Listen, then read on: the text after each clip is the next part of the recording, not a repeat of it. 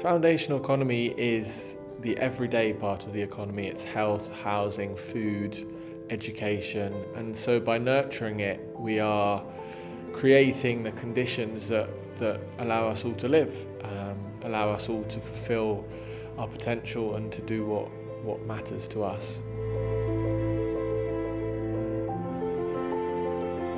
In terms of supporting businesses, it's about what role do businesses play in communities and in Wales? And so thinking about what uh, is a grounded business, how do businesses both rely on and give back to the communities they exist within?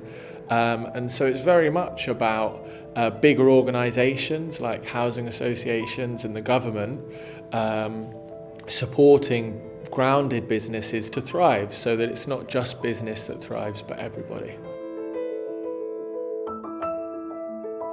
The foundational economy and, and trying to support it to flourish requires us to change what we measure. So at the moment we, we measure gross domestic product, which is kind of the activity in the economy, and most people don't really know what that is anyway. And so it's about uh, trying to capture better uh, the kind of uh, how well people can live and, and survive. So for example, um, what uh, income do people have after you've taken away costs for transport and housing um, because actually those that that figure is then very different and so it's trying to capture really uh, how people live and trying to improve that as much as possible.